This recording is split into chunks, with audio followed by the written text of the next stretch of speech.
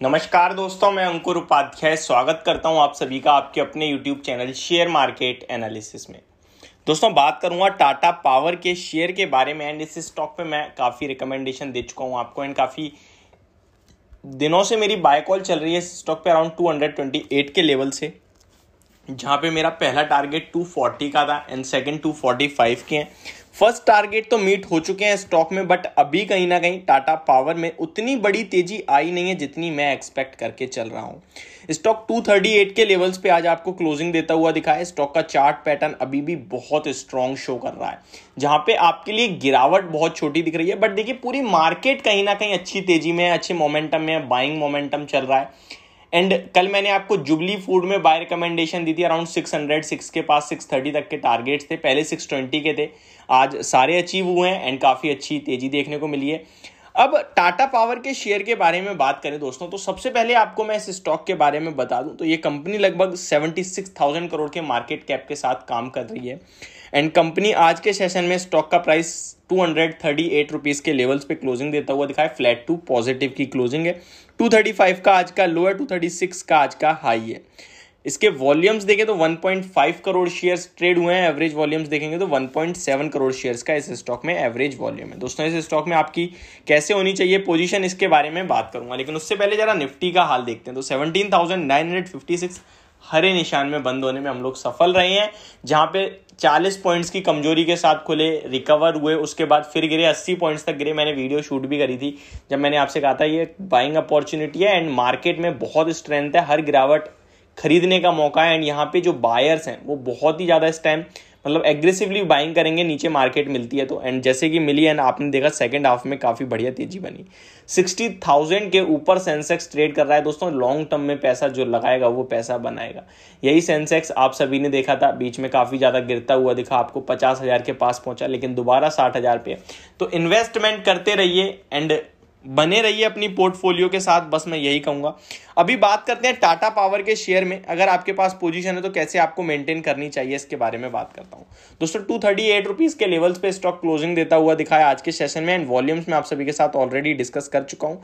कल के सेशन में लगभग थर्टी थ्री परसेंट की डिलीवरी परसेंटेज थी, जो कि ठीक है, ज़्यादा अच्छी नहीं है। पाँच दिन की एवरेज डिलीवरी परसेंटेज लगभग थर्टी एट परसेंट की दिख रही है मुझे। इस स्टॉक में दोस्तों, अभी भी मुझे लगता है कि 245 टू 200 फोर्टी टू रुपीज़ तक के लेवल्स आपकी स्क्रीन पे बहुत जल्दी देखने को मिलेंगे। स्टॉक में लगभग गिरावट जो है टू हंड्रेड थर्टी थ्री के लेवल से ही हुई थी, जहाँ स्टॉक ने टू हंड्रेड का लेवल भी ब्रेक करा था वन नाइन्टी वन तक आया था। एंड फिर धीरे धीरे रिकवर हुआ and two hundred thirty three के लेवल से स्टॉक लगभग तीन बार घूमा। Same to same Jubilant food की तरह। जैसे जुबली एंड फ़ूड वर्क लगभग सिक्स हंड्रेड के लेवल से तीन बार दोबारा यूटर्न मार गया था, वैसे ये स्टॉक भी लगभग थ्री टाइम्स अटेम्प्ट कर चुका है। बट इसमें यूटर्न छोटा ही आया, उसमें बहुत बड़े आए थे। इसीलिए जब वो ऊपर निकला तो तेज़ी से ऊपर निकला, इसमें जो ऊपर निकलने के बावजूद भी कोई बड़ी तेज़ी नहीं बनी है। बट इस स्टॉक में जिसके पास पोजीशन है, सबसे पहले जिसको फ्रेश एंट्री लेनी है, उनके लिए बात करता हूँ। आप बिल्कुल इसमें फ्रेश एंट्री ले सकते हैं, लेकिन आपका एसएल थोड़ा दूर होगा टू हंड्रेड का होगा। जितनी आपको उसके पास मिले, खरीदिए क्लोजिंग बेसिस का एसएल रखिए टू पे एंड अपनी पोजिशन को मेंटेन करिए। आपके लिए टारगेट होंगे टू फोर्टी के होंगे। अब जिनके पास है, उन्हें क्या करना चाहिए? दोस्तों, अपनी पोजिशन को मेंटेन रखें टू तक आए प्रॉफिट बुक करें, दोबारा डिप में खरीदने की कोशिश करें। एंड आपके लिए भी जो टारगेट्स हैं, वो सेम टू सेम ऊपर के निकल के आएँगे लगभग 245 तक के पहले टारगेट एंड अगर स्टॉक वो लेवल्स क्रॉस करता है, उसके बाद हम रिव्यू करके फ्रेश टारगेट्स देंगे.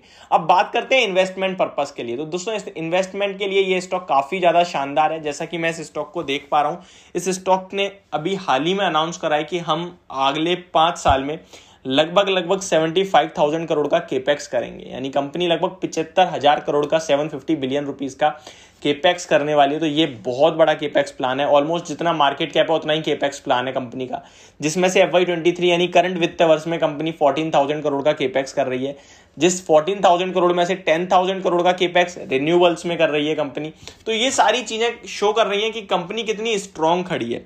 सेकंड थिंग स्टॉक के पी के हिसाब से बात करें तो ट्वेंटी नाइन के प्राइस टू अर्निंग पे वैल्यूशन वाइज भी ज़्यादा महँगा नहीं दिखता है एंड आने वाले समय में ये स्टॉक काफ़ी अच्छा परफॉर्म कर सकता है, ऐसा एनालिस्ट का मानना है। दोस्तों, मैं आपको एक चीज़ और बता दूँ, ये स्टॉक चार्जिंग स्टेशन को लेकर आप सभी को पता है लीड कर रहा है मार्केट में ईवीज को लेकर ईवी प्ले भी माना जा रहा है ऐसे, और इनफैक्ट है भी।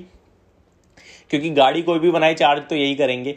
अभी स्टॉक हर दूसरे दिन कभी ना कभी आप सुनते हो कि किसी स्टेट के साथ एमओयू साइन या फिर किसी कंपनी के साथ पार्टनरशिप रिसेंटली कंपनी की बात करें तो जेपी जेपी इंफ्रा के रेजिडेंशियल में, इनके मुंबई में, जितने भी जेपी इंफ्रा के रेजिडेंशियल हैं, वहाँ पे चार्जिंग स्टेशन ये बनाएगी कंपनी ये दो तीन दिन पहले ही खबर आई थी जो मैंने आपके साथ शेयर करी थी।